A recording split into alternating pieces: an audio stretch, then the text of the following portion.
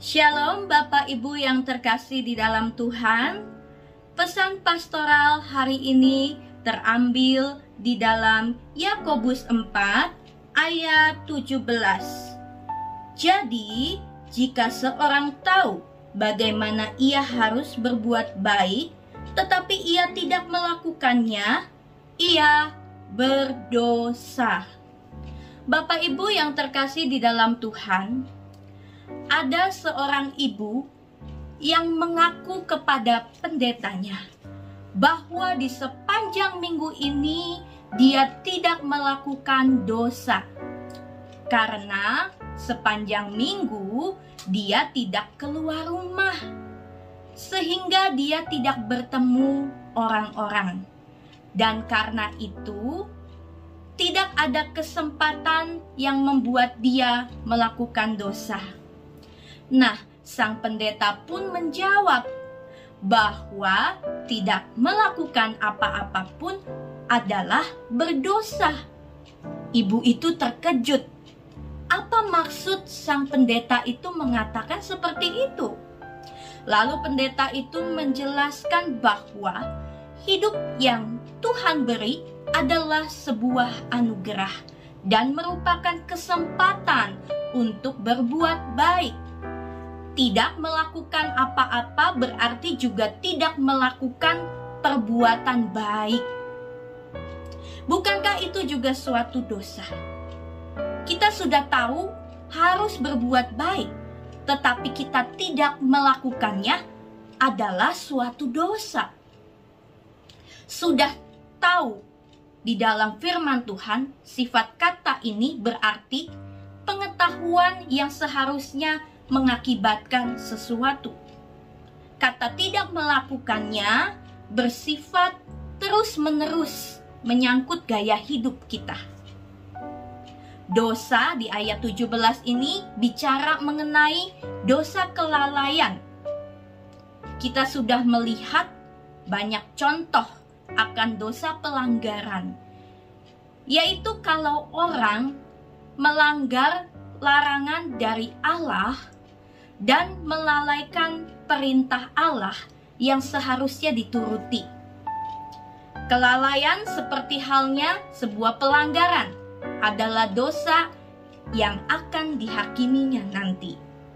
Orang yang tidak melakukan kebaikan yang dia ketahui jelas-jelas dia tahu harus dilakukannya.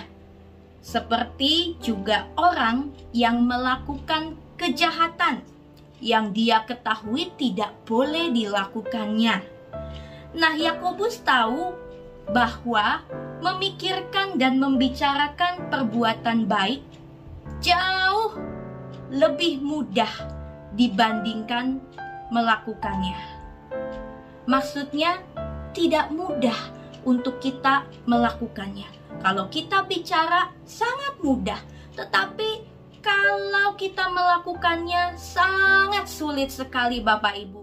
Bila kita tahu kebenaran, bila orang tahu bahwa dia harus melakukan perbuatan baik, tetapi dia tidak melakukannya, ia adalah berdosa. Bagai dua sisi di dalam satu keping mata uang orang bukan hanya harus menghindari perbuatan salah atau perbuatan dosa, tetapi dia juga harus melakukan hal yang benar. Mengetahui hal ini, namun tidak melakukannya adalah juga berdosa. Kita diajar di dalam seluruh perilaku kita untuk bertindak sesuai dengan apa yang kita yakini. Jika seseorang tahu bagaimana ia harus berbuat baik, tetapi ia tidak melakukannya, itu adalah berdosa. Bapak Ibu, kiranya kita bisa melakukan firman Tuhan ini di dalam kehidupan kita sehari-hari. Ingat, kita harus melakukan hal yang benar. Kalau kita tahu hal yang benar dan hal yang baik, tetapi kita tidak melakukannya, itu adalah berdosa. Kiranya Tuhan memberikan hikmat kepada Bapak Ibu supaya kita uh, lebih peka dan tahu apa yang harus kita perbuat hari ini, hal yang baik, hal yang benar yang harus kita lakukan di dalam kehidupan kita sehari-hari. Bapak Ibu, pertanyaan refleksi untuk kita semua. Sudahkah kita mewujudkan pengetahuan akan firman Tuhan di dalam perilaku hidup kita sehari-hari? Tuhan Yesus memberkati kita semua. Mari kita berdoa. Tuhan Yesus, kami bersyukur untuk firman Tuhan yang singkat ini mengingatkan kepada kami bahwa kami harus berbuat baik dan benar. Apa yang kami ketahui di dalam pengetahuan boleh kami lakukan berdasarkan apa yang kami yakini dan iman kami kepada Tuhan. Kami boleh melakukan itu, kami boleh diberikan hikmat bijaksana, keberanian untuk menyatakan kebenaran dan hal-hal yang baik sesuai dengan iman kami. Terima kasih Tuhan, ampuni segala dosa dan kesalahan kami.